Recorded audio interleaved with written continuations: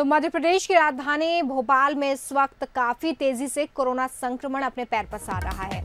12 दिन में 350 कोरोना संक्रमित मरीज़ सामने आ गए हैं। भोपाल में इस वक्त जहांगीराबाद हॉटस्पॉट बना हुआ है, जहाँ पर 200 से ज़्यादा मरीज़ पाए गए हैं। भोपाल में 24 घंटे में 24 नए मरीजों की पुष्टि हो गई है। वहीं मध्य प्रदेश में इस वक्त लगातार जो आंकड़े हैं वो चिंताजनक स्थिति पैदा करते हुए 4000 के करीब मरीजों का आंकड़ा पहुँच गया है।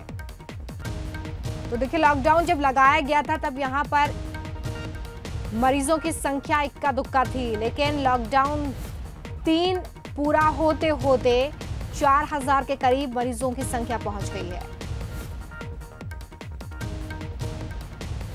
संवाददाता वासु चौरे हमारे साथ जुड़ गए हैं। राजधानी का क्या हाल है? क्या संक्रमण के मामले?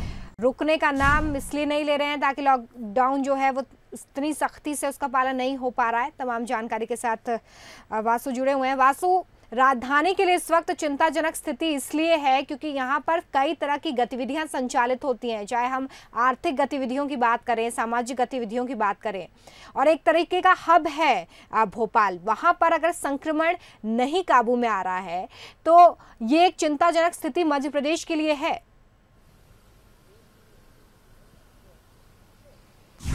बिल्कुल रोमिता देखिए मध्य प्रदेश की राजधानी है भोपाल तमाम पॉलिटिकल गतिविधियाँ आर्थिक गतिविधियाँ भोपाल के पास में मंडीदीप इंडस्ट्रियल एरिया है गोविंदपुरा इंडस्ट्रियल एरिया है तो बड़ा इकोनॉमिक हब भी है और बड़ी संख्या में लोग यहाँ पर आ, दूसरे जिलों से और अन्य राज्यों से भी भोपाल आते हैं। काम धंधे की तलाश में ऐसे में जो कोरोना का संक्रमण यहाँ पर तेज़ी से फैला हुआ है रेड जोन के जो ज़िले हैं उनमें भोपाल शुमार हो गया है तो काफ़ी दिक्कतें परेशानियों का सामना ज़ाहिर तौर पर लोगों को करना पड़ रहा है। भोपाल के बड़े बाज़ार है जहाँ से रोज़ाना करोड़ों रुपए का व्यापार होता था, वो पिछले पचास दिनों से ठप पड़ा हुआ है। हालाँकि अगर भोपाल ग्रीन जोन में होता, इतना संक्रमण नहीं फैला होता तो ये तमाम सारी गतिविधियाँ चालू हो गई होती और लोगों को थोड़ी राहत मिल रही होती। लेकिन पिछले जो दस बारह दिनों के हम आंकड़े देख रहे हैं, रोज़ाना तीस से चालीस और कभी इससे भी ज़्यादा नए मरीज़ रोज़ाना सामने आ रहे हैं तो ये बेहद ही चिंताजनक बात बनी हुई है और सबसे बड़ी चिंता इस बात की है कि अब पूरे मध्य प्रदेश का जो सबसे बड़ा कोरोना केंद्र है, वो भोपाल का जो जहांगीराबाद इलाका है, वो बन चुका है। यहाँ पर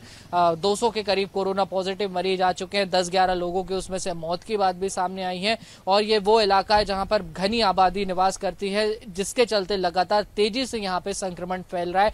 हालाँकि शासन प्रशासन ने वहाँ पे कड़ी जो व्यवस्था है, वो काफ़ी कड़ी कर दी है। सख्ती बरती जा रही है। पूरे एरिया को सील कर दिया गया है। अब तो और करीब 2000 लोगों को दूसरी जगह शिफ्ट भी करने की तैयारी है, ताकि वहाँ पे जो संक्रमण लगातार फैल रहा है, उसको काबू पाया जा सके। इसके साथ ही जो स्वास्थ्य मंत्री नरोत्तम मिश्रा, वो लगातार इन पूरी स्थितियों पे नज़र बनाए हुए हैं। रोज़ाना अधिकारियों से फीडबैक ले रहे हैं। खुद मुख्यमंत्री शिवराज सिंह चौहान रोज वल्लभ भवन में कोरोना को, कोरोना समीक्षा को लेकर बैठक भी कर रहे हैं। लेकिन बहरहाल इन सभी गतिविधियों के बावजूद भी फ़िलहाल कोरोना से राहत मिलती हुई नज़र नहीं आ रही है और खासकर भोपाल और इंदौर की बात करें तो यहाँ पर स्थिति रोज़ाना चिंताजनक होती जा रही है और जिस तरीके की तैयारियाँ दिख रही हैं, उनसे यह अंदाज़ा भी लगाया जा सकता है कि अभी कोरोना का संक्रमण और बढ़ने वाला है।